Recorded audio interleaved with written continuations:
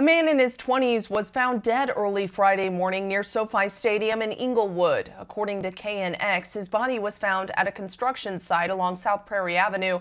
This is the third death reported near the recently opened stadium. In June, a construction worker in his 30s died after a fall at the stadium.